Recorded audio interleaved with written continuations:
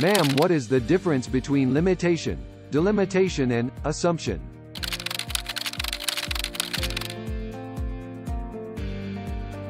So let's talk about limitations first. Limitations are potential weaknesses of the study which are not in our control.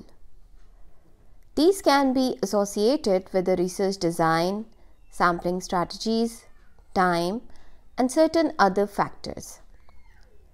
In addition, limitations can impact on your study findings, conclusions, and generalizations of the study.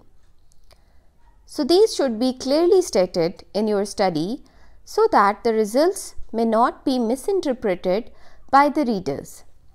For example, in quantitative research, small geographic sample or sample representation can be a limitation.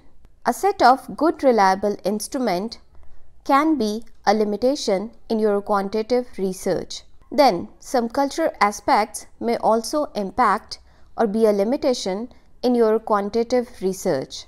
In qualitative research, it may be data saturation point or other things which are not in your control, such as in my PhD study when I was conducting children interviews and their teachers were present in the same room.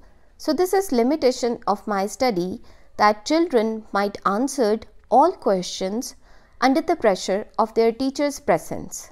Now, I'm going to discuss about delimitations. Delimitations are set by the researchers or authors themselves. These are the boundaries or scope set by the authors to meet study objectives and goals. This means that these are in the control of researcher. Delimitations are mainly associated with study theoretical or conceptual framework, research questions or hypothesis. In a way, delimitations are not as much as why I did this, but rather why I did not do it like this.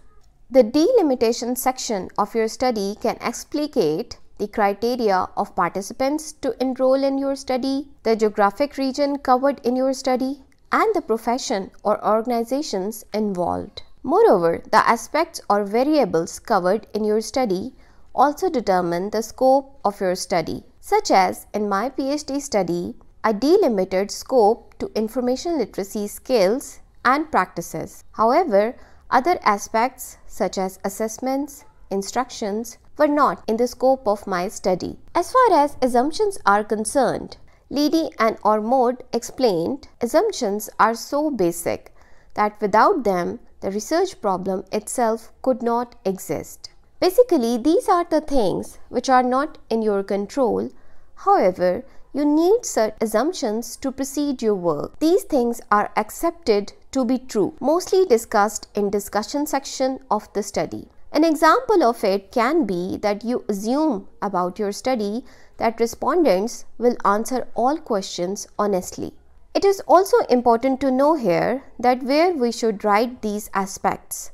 Make a separate section about limitations in the final or conclusion chapter of your thesis or if you are writing an article, make a separate section before conclusion. For delimitation, suitable place is after introduction or statement of the problem.